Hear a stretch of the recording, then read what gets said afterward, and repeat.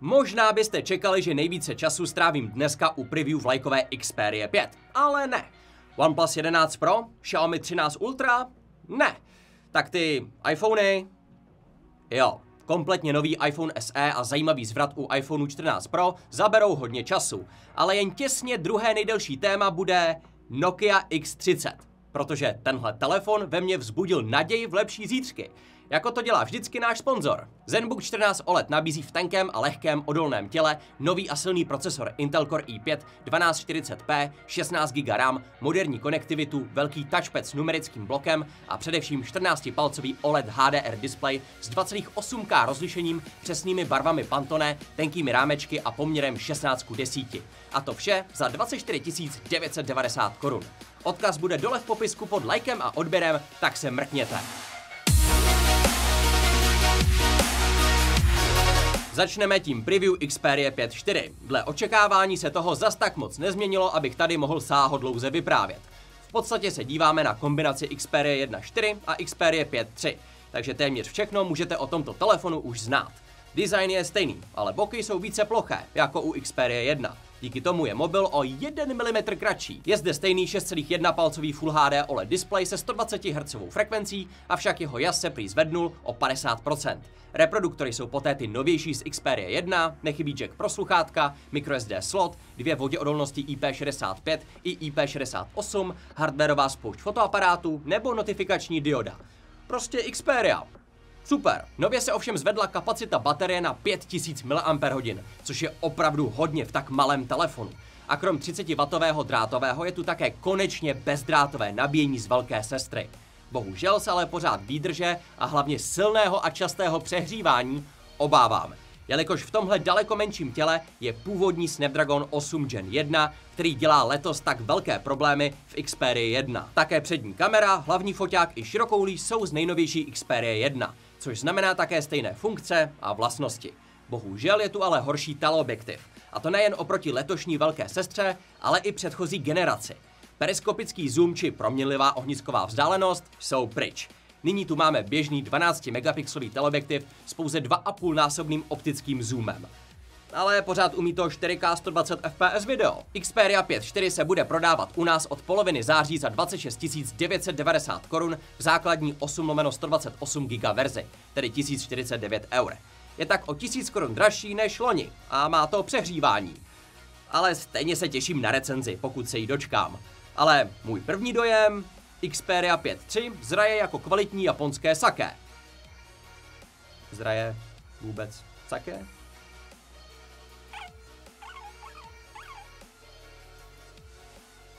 Neskazí se po pěti ani deseti letech. Ale nebude mít stejnou chuť. Může být horší. Takže mají doporučenou datum... Hmm. Hmm, divný. Takže máte datum pro zachování chuti a potom to můžete pořád bezpečně pít, ale už to nebude chutnat tak dobře. Takže nezraje jako japonské sake, ale jako víno. Zpět k věci. Uvidíme, jestli se opravdu vylepší to OnePlus 11 Pro, o kterém jsem hovořil minule. I když postupně začíná tento telefon působit skoro jako takové OnePlus 11 Ultra, a jsem tím pádem vážně zvědav na cenu.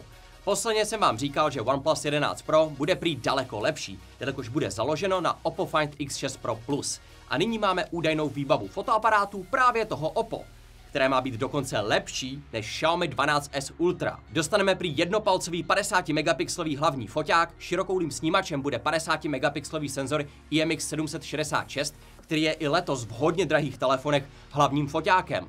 A na závěr nemá chybět nějaký vysoce kvalitní periskopický super zoom, rovněž s vysokým rozlišením a patrně alespoň pětinásobným optickým zoomem.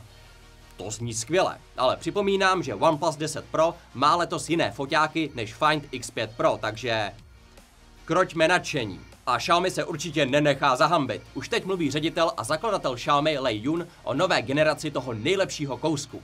Lei Yun nám oficiálně potvrdil, že Xiaomi 13 Ultra bude podle něj globálně dostupné. Takže spokojení majitelé Mi 11 Ultra v Česku se možná dočkají příchodu nástupce. Vzhledem k tomu, co jsem z letošní Ultry viděl, se nemůžu dočkat. Zajímavě vypadají také první fotky nástupce Huawei P50 Pocket, které se objevily díky certifikaci TENA. Na ní můžeme vidět opět Včkový mobil s průstřelem, ale záda jsou trochu jiná. Dolní polovina telefonu má být potažena umělou kůží a horní je očividně pokryta sklem. Vidět můžeme také kruhový modul fotoaparátu stále na stejném místě. Vzhledem k nekvalitě fotek a černému sklu ale nelze snadno vidět displej. Takhle to vypadá, že pod foťákem druhý kruh není. Teoreticky tedy může být displej pryč, nebo bude stejný. Nebo je pouze horní polovina ze skla, jelikož externí displej bude letos tak obří. Doufat můžu. Kdy se P60 Pocket představí pochopitelně nevíme, ale osobně bych si vsadil na konec roku, jako tomu bylo u předchozí generace. Ta se představila jeden den před Vánoci. OK, to bylo nečekaně rychlé, ale teď to nejdelší téma. iPhony. Máme toho celkem dost. Začneme nejmenšími novinkami a postupně se propracujeme k tomu důležitému. Knoky. A ne, nedělám si srandu. Nebo trochu jo, ale iPhone. Takže předně se objevilo, že iPhone 14 Pro a Pro Max mají podporovat 30W nabíjení. Ale ne tak úplně. Za prvé iPhone 13 Pro Max zvládá 27W a menší brácha 23W, takže ten rozdíl v rychlosti by byl už tak minimální. Jenomže pak ještě Leaker doplnil, že plných 30W má Apple používat pouze, když budou telefony téměř na nule, aby se co nejrychleji dostali do použitelného stavu.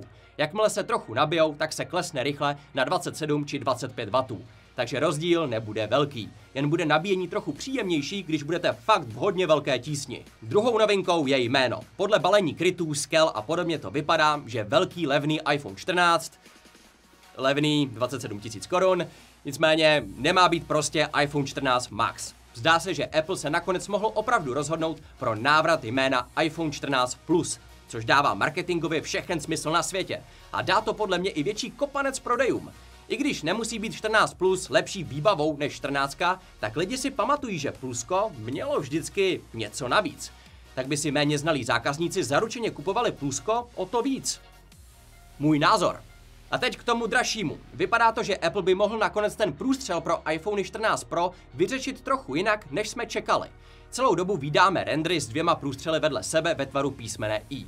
Nejnovější stroje ale tvrdí, že možná bude chtít Apple prezentovat lidem průstřel jako jeden velký celek. Teoreticky by tedy mohly iPhony Pro vypadat letos takhle. Na pohled se zdá, že se všichni pletli s těmi průstřely, ale to není zcela pravda. Podle všeho mají být skutečně v displeji dva průstřely zvlášť, jak jsme zvyklí z renderů, ale Apple tu mezeru mezi nimi prý softwarově schová černým pozadím. Podobně jako můžete schovat průstřel a výřez u Androidu černým pruhem přes celý displej. Ta černá mezera by však pořád byla aktivní displej, takže by prý Apple využíval pro barevné indikátory, když jsou používané mikrofony a fotoaparáty, což je celkem fajn. Indikátory budou viditelnější a když na ně mezi těmi průstřely klepnete, tak se má zobrazit nová nabídka, kde uvidíte, která aplikace zrovna mikrofon a kamery využívá, které apky k ním mají přístup a můžete hned toto nastavení také upravit. Jinak ale bude ta mezera běžně prostě černá. Takže ten rozdíl mezi loňským menším výřezem a tímhle velkým průstřelem nebude pro zážitek z používání moc odlišný. Tohle není jako byste přešli z Huawei Mate 20 Pro na P50 Pro. Ale doufám, že pokud se rozhodne Apple na oko ty průstřely spojit, tak vážně dostaneme alespoň ty softwarové funkce, které jsem jmenoval. Pochopitelně by bylo ještě lepší, kdybyste si mohli v nastavení vybrat, jestli chcete mezeru schovat nebo ne, ale Pořád mluvíme o Apple. S tím bych nepočítal. S čím máme počítat je krom toho 48 megapixelového hlavního foťáku také novější širokoulý snímač, který vylepšení potřeboval asi nejvíce, aby konkuroval těm nejlepším. Máme se dočkat většího 12 megapixelového senzoru, který má nabídnout o 40% větší pixely. Tenhle senzor i ten hlavní budou ale logicky mnohem dražší. To má být další důvod, proč se cena pročkových iPhoneů letos zvedne. Vypadá to, že to Shiro by mohl být předchozí hlavní foťák. Takže co dělat, když chcete nový iPhone, ale nechcete za něj dát 33 tisíc korun? Potom můžete počkat na iPhone SE 2023, který se může odhalit někdy kolem března příštího roku.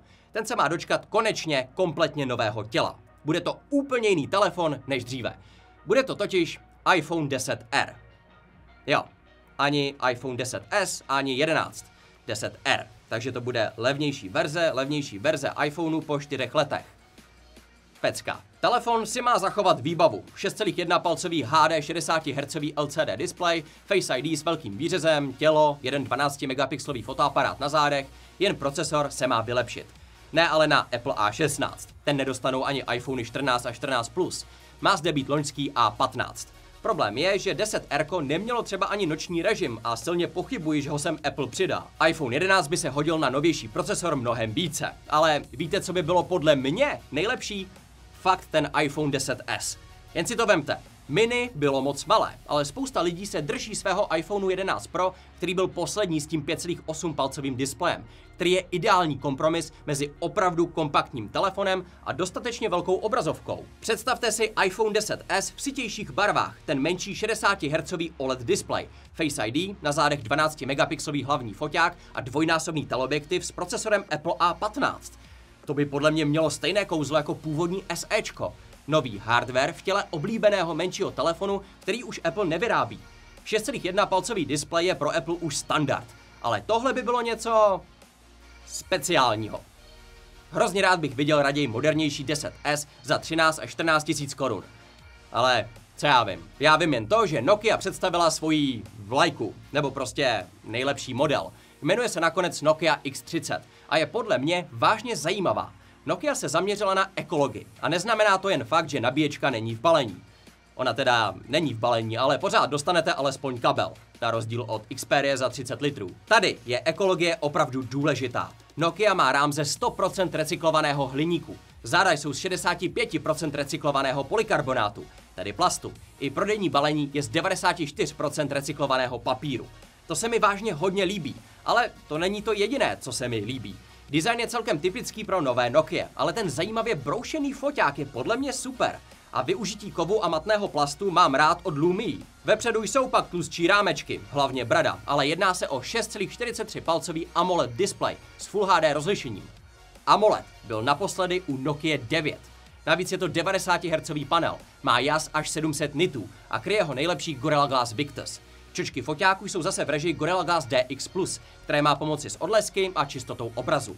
Nachází se tu poté 50 megapixelový hlavní foťák s optickou stabilizací a 13 megapixelový širokoulý snímač se 123 stupni záběru, což je dost. Vepředu je 16 megapixelová kamerka. Telefon má sice jenom jeden reproduktor a jack pro sluchátka chybí, ale je tu dual SIM i eSIM, což není zvykem mimo vlajky. Wi-Fi 6, infračervený senzor, NFC a dokonce ani voděodolnost IP67 už ale nechybí. Baterie má menších 4200 mAh, avšak potěší 33W nabíjení a životnost je prý testována na minimálně 800 cyklů, po kterých si má udržet drtivou většinu kapacity. Telefon má také 3 roky velkých aktualizací systému, takže až Android 15, jelikož přichází na trh s Androidem 12. Dále má zaručeny 3 roky bezpečnostních záplat, které mají chodit každý měsíc. A máte i 3 roky záruky.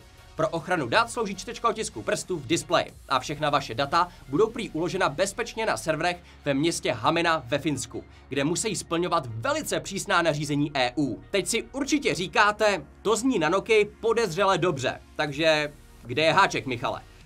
No, jeden tu je. Snapdragon 695 nemá co dělat v telefonu nad 10 000 korun. Jasně, je to solidně silný procesor, ale ne na danou třídu. Třeba i video natáčení je kvůli němu zaseknuté maximálně na Full HD v 60 fps, žádné 4K. Pořád ale daleko lepší než loni. 480. Další věcí je cena. Základní 6 lomeno 128 GB verze vyjde na 399 liber, tedy 449 eur, tedy 11 000 korun. 8 lomeno 256 GB stojí 439 liber, tedy zhruba 510 eur, tedy 12,5 tisíce korun. Vím, že vzhledem k procesoru není ta cena nízká, ale upřímně, Nokia X30 se mi líbí mnohem více než Xperia 10 se stejným procesorem, jejíž základní 6 128 GB verze stojí jako u Nokia ta vyšší.